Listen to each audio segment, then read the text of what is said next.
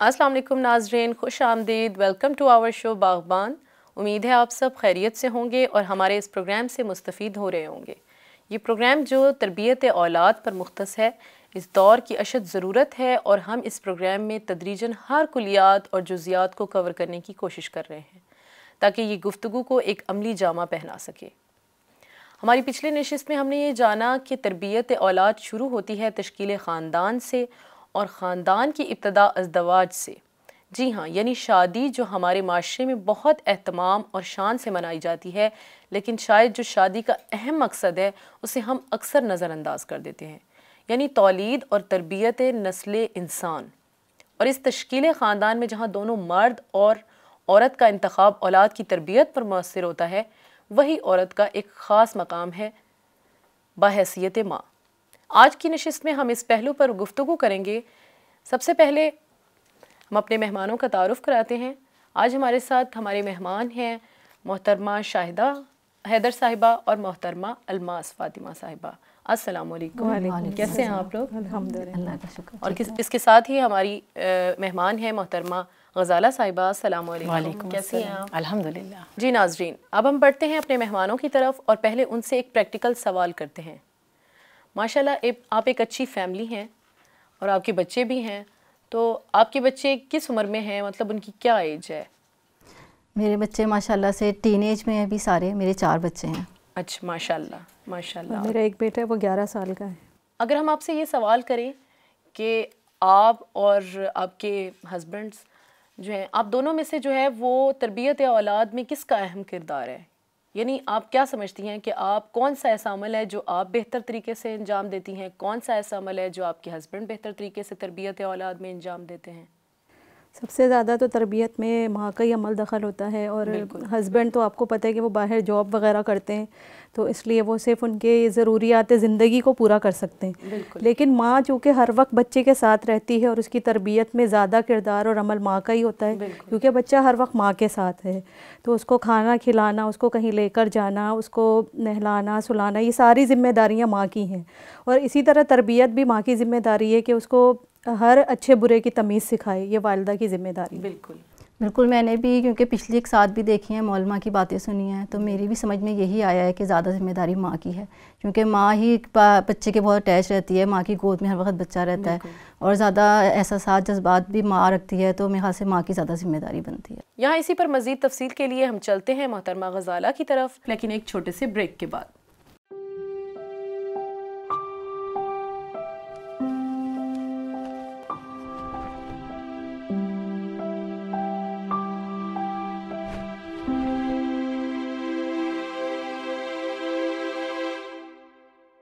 जी नाजरीन welcome back to our show जैसे कि हमने अपनी पिछली नशस्त में ये सवाल उठाया था, क्या अल्लाह ने मर्द और औरत को एक जैसी खलकत दी है?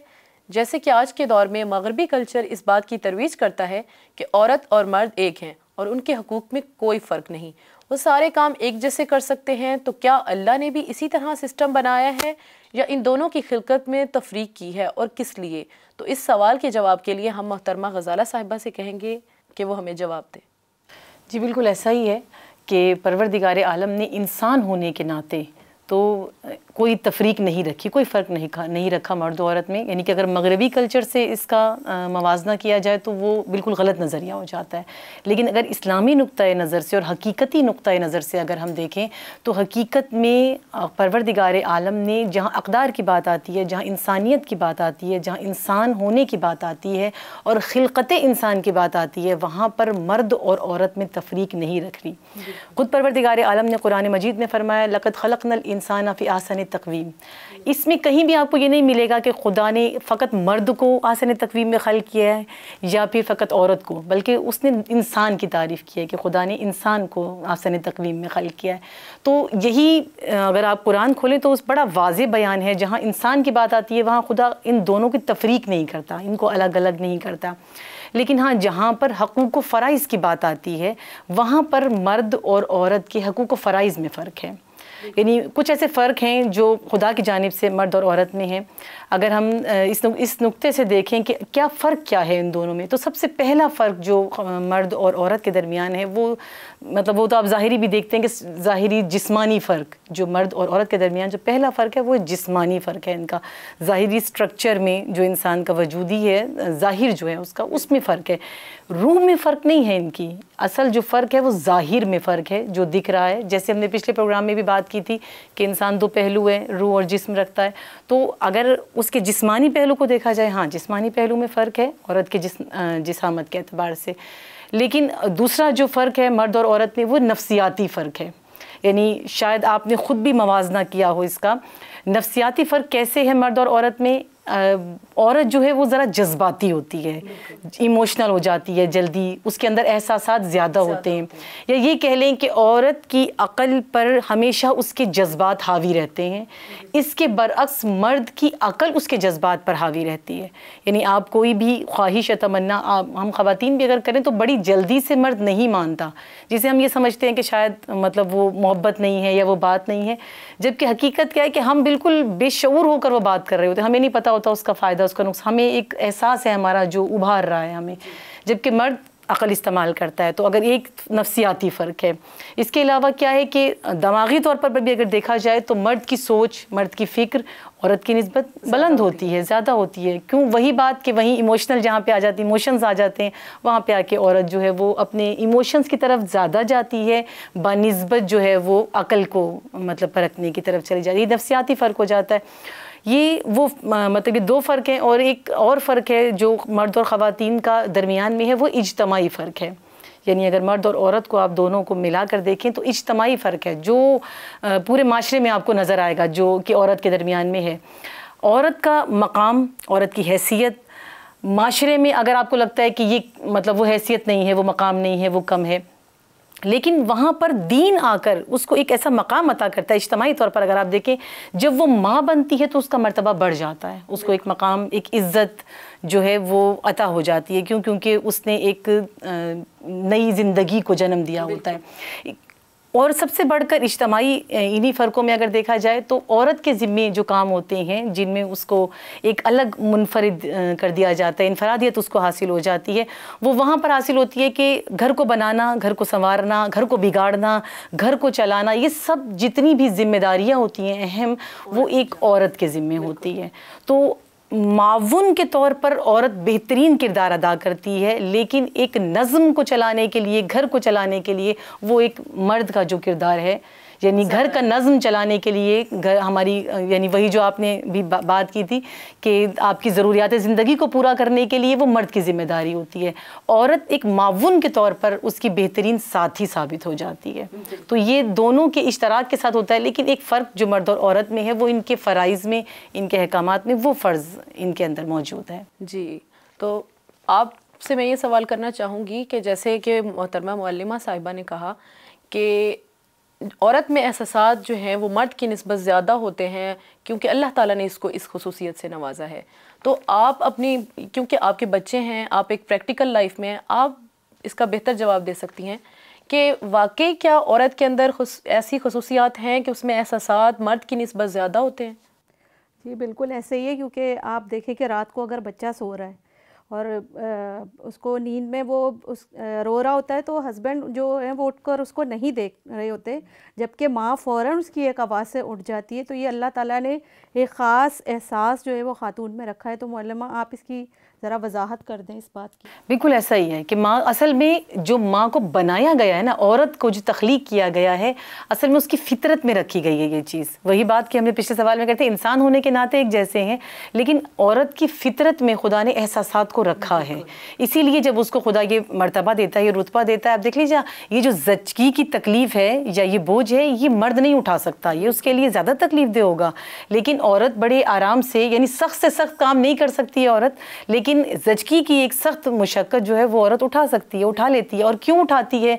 क्यों नौ माह तक उसकी हिफाजत करती है? उसी वजह से अपनी हिफाजत कर रही होती है। क्यों करती है सब कुछ? उसके एहसास उसको, वो जो फितरत है जो खुदा ने उसके अंदर रखी है, वो एहसास उसको वो सब कुछ करा रहे होते हैं। यानी अपना ख्याल रख रही है उस बच्चे के लिए। अपनी केयर कर रही है उस बच्चे के लिए। अपना हर अमल बेहतरीन कर रही है। अपने अंदर से तमाम बुराइयों को जो वो निकाल रही है, अपने बेहतरी की तरफ़ आ रही है। क्यों? उस बच्चे के लिए। यानी उसके एहसास भी जो हैं वो और एक एज ए औरत एक औरत होने के नाते तो मर्द की नस्बत वो मुख्तलिफ़ हैं। तो इसीलिए परवरदिगार आलम ने औरत को ये मकाम अता किया है कि वो ज़्यादा एहसासी कि वो एक हालाँकि औरत जो है वो सिनफ नाजुक है लेकिन वो तकालीफ जो है वो मर्द की नस्बत ज़्यादा बर्दाश्त ज़्यादा बर्दाश्त करती है। औरत जो है ये हकीकत है कि अगर हम प्रैक्टिकल लाइफ को अपनी देखें तो हम अपनी तकलीफ़ों को भूल कर अगर माँ बीमार भी हो ना माँ को तकलीफ़ है अजियत है माँ बीमार है लेकिन अगर उसके बच्चे को कुछ हो जाए तो माँ अपनी बीमारी भूल जाती है अपनी अजियत अपनी तकलीफ़ भूल जाती है।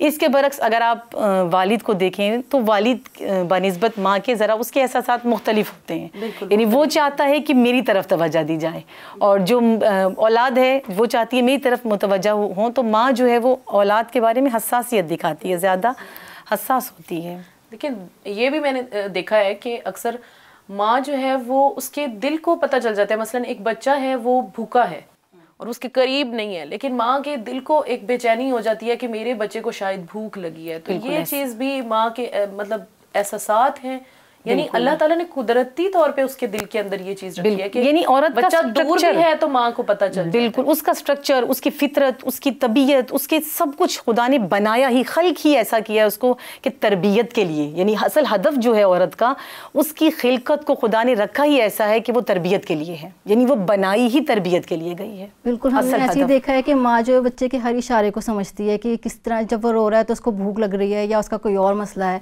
बिल्कुल। इसलिए शायद अल्लाह ने यह खसूसियात औरत औरत के अंदर रखी है कि उसने उसकी तरबियत करनी है आगे वो बच्चे को समझेगी उसकी सलाहितों को समझेगी तो फिर ही वो उसकी तरबियत कर सकेगी। बिल्कुल और यही उसका वो महर्रिक होता है ये एहसास जो है ये उसका वो महर्रिक होता है जो उसको बनाता है। मतलब ये महर्रिक उसमें जो पैदा होता है तो वो उसका ये प्यार उसके ये एहसास वो उस माँ को आइडियल बना देती है।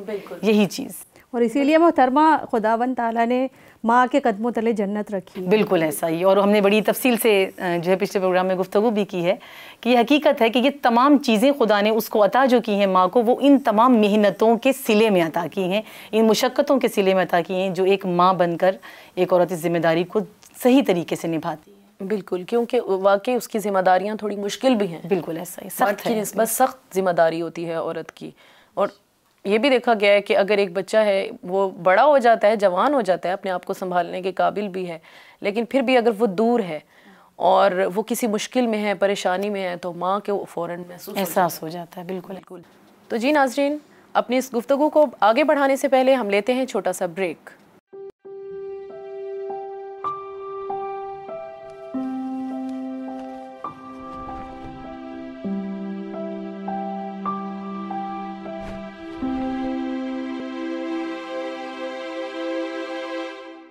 एक बार फिर खुश आमदीद हमारे शो बागबान में। तो जी नाजरीन, अगर हम असल मौजू की तरफ़ लौटें तो ये बात और महकम हो जाती है कि और औलाद की तरबियत में जोजा यानी औरत का इंतखब बहुत ज़्यादा अहमियत रखता है। तो नाजरीन, वो क्या मैारात हैं जो अजदवाज यानी रिश्ता अजदवाज में मुंसलिक होते हुए हमें मद्दनज़र रखने होते हैं? तो मोहतरमा गजाला साहिबा, जैसे कि आपने इब्तदा में कहा कि तरबियत औलाद जो है वो ख़ानदान से शुरू होती है और ख़ानदान तश्कील पाता है अजदवाज से।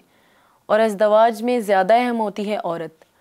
तो क्या ये कहना ठीक होगा कि हमें अजदवाज में इंतखब करते हुए हमें मद्दनज़र रखना चाहिए कि अजदवाज किस कदर तरबियत याफ्ता होने चाहिए? बिल्कुल, ऐसा ही है कि हम असल में इस अहम पहलू को, तरबियत के अहम पहलू को, खसूसियत से औलाद की तरबियत के पहलू को हम अजदवाज का इंतखब करते हुए भूल जाते हैं। यानी हम जब शादी कर रहे होते हैं तो हमारे जहन में मैारात दुनिया होते हैं। मतलब बड़े अजीब अजीब मैारात हैं और आप भी शायद इस सिचुएशन से गुजरे होंगे कि लोगों के जो मैारात हैं वो दुनियावी मैारात हैं। उसके मुताबिक जो है लोग अजवाज करते हैं और हकीकता जो है हर जो तरबियत औलाद का पहलू है वो उसको बिल्कुल भूल जाते हैं। उस वक्त अजवाज हो रही होती है इंसान के जहन में ये नहीं होता कि आप एक ख़ानदान की बुनियाद डाल रही हैं इस वक्त और अपनी औलाद की तरबियत की भी बुनियाद आप वहीं से डाल रही हैं। वो पहलू हमारे जहन से बिल्कुल निकल जाते हैं और हम जो हैं वो अपनी दुनियावी मैारात के ऊपर देख कर कभी मा, माल को देख कर कहीं वही जो रसूल की मैंने हदीस भी बयान की थी कि कहीं पर खूबसूरती को देख कर नाम नस्ब को देख कर ख़ानदान को देख कर ये सब चीज़ें देख कर हम शादी करते हैं। ऐसी लड़की चुनते हैं या लड़का देखते हैं। माँ बाप का भी की भी यही सूरत हाल होती है नहीं अगर लड़के के जो पेरेंट्स हैं वो ये नहीं देखते कि लड़की कितनी बेहतरीन है या कितनी तरबियत याफ्ता है। क्या वो ये देखते हैं जी कितनी इसने तालीम कितनी हासिल की है ये जॉब करती है या नहीं करती है? खूबसूरत है। एक माँ को बहू खूबसूरत चाहिए होती है वो खूबसूरत है या नहीं है? अच्छा बड़ा ख़ानदान है या नहीं है अपना स्टेटस दिखाना होता है लोगों को कि भाई मैं इस ख़ानदान से बहू लेकर आई हूँ। मतलब ये सेटअप हम जो है वो ये शादी करते हुए देखते हैं। इसी तरह वालदेन जो लड़की के होते हैं उनका भी यही मैार होता है। वो देखते हैं अच्छी जॉब करता है गाड़ी है घर है बंगला है मतलब इस तरह की चीज़ें हैं। तो ये हमने एक दुनियावी मैारात बनाए हुए हैं जिनके तहत हम शादी करते हैं लेकिन जो उसको शादी की वजह थी जो असल हकीकत थी यानी अजवाज अजदवाज की जो वजह जो थी वो यही थी कि आपकी नस्ल आगे बढ़े। और उसकी तरबियत बेहतरीन हो जाए उसे एक अच्छा इंसान इंसान बनाया जाए वो हम लोग उसको बिल्कुल नज़रअंदाज कर देते हैं। नहीं करते बिल्कुल भी। तो असल जो हदफ है वो अपनी इस ख़ानदान के ज़रिए से इस अजदवाज के ज़रिए से बच्चों की बेहतरीन तरबियत होना चाहिए।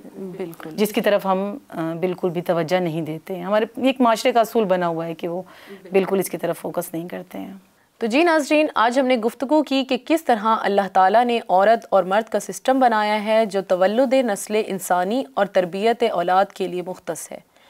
अब यहाँ हम अपनी गुफ्तु के दूसरे हिस्से की तरफ़ बढ़ेंगे। अगली नशस्त में कि इंतखब अजदवाज में वो कौन सी सिफ्त को देखना ज़रूरी है जिसका असर औलाद की तरबियत पर हो सकता है। और अगर आपके कुछ सवाल हैं तो स्क्रीन पर दिए गए नंबर पर व्हाट्सअप करें या टेलीग्राम करें और हमारा अगला प्रोग्राम देखना ना भूलिएगा। इन फिर हाजिर होंगे। अल्लाह हाफिज़।